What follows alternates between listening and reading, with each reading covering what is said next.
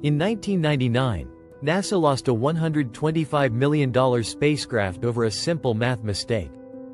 Yes, you heard that right. A decimal error? A faulty calculation? Nope. The entire Mars mission failed because one team used metric units and the other used imperial. This single miscommunication led to the complete destruction of the Mars Climate Orbiter before it even got a chance to do its job. But how could such a well-funded, highly technical space mission fall apart over something so basic? Was it pure negligence? A simple oversight? Or a bigger problem within NASA? Well, buckle up, because this story is more shocking than you think. Let's rewind to the 1990s. NASA was on a roll, sending missions to Mars with ambitious goals.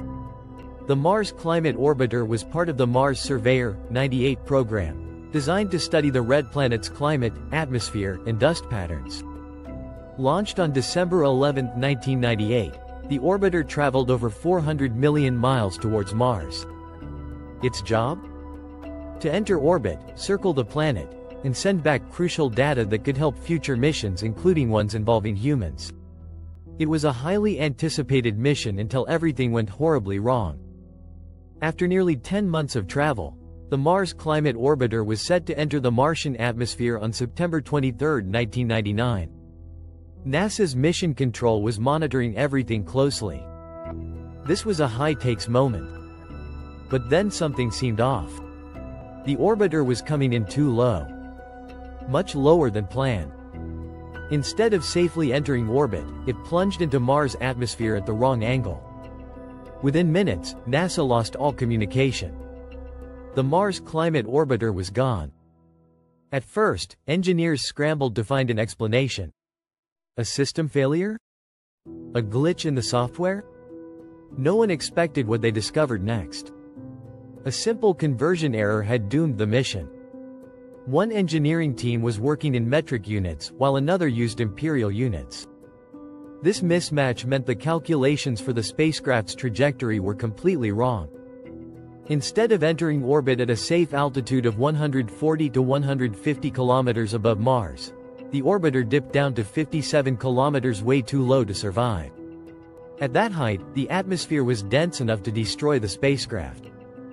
Years of planning. $125 million. All lost over a basic math mistake. Now, you might be thinking how could NASA, with its top scientists and engineers, make such an obvious mistake? Well, the issue boiled down to miscommunication between two teams. Lockheed Martin, the company that built the spacecraft, used the Imperial system for force calculations. NASA's Jet Propulsion Laboratory, JPL, which handled navigation, used the metric system. Neither team realized the mismatch. Lockheed Martin sent force data in pounds. JPL assumed it was in newtons and plugged the numbers into their calculations as is. No one converted them. This small miscalculation snowballed into a huge problem. Every tiny course correction was just slightly off but over millions of miles, those small errors added up. By the time the orbiter reached Mars, it was on a doomed trajectory. NASA was embarrassed. This was a high-profile failure, and the space agency had to explain how something so basic had slipped through the cracks. An investigation followed, and NASA admitted that their quality control had been lacking. There was no system in place to catch unit mismatches between different teams. They also found out that several warning signs had been ignored. Engineers had noticed that the spacecraft was slightly off course months before it arrived at Mars. But because the deviations were small, no one raised major concerns. It was a painful lesson, but it forced NASA to change how they operated. So, what did NASA do after this disaster? NASA introduced mandatory unit checks across all projects. Now, every single calculation involving measurements had to be double-checked and cross-referenced. Teams were now required to have clearer documentation and coordination to avoid similar misunderstandings. NASA added software systems to catch unit mismatches automatically before they caused real problems. Since then, NASA has had far fewer errors like this. They made sure the metric versus imperial mistake would never happen again. Now, you might be wondering could such a simple mistake still happen today? Well, it's less likely but not impossible.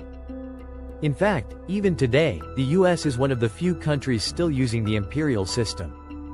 NASA, however, has moved almost entirely to metric but when working with external contractors, they still have to be extra careful about unit conversions.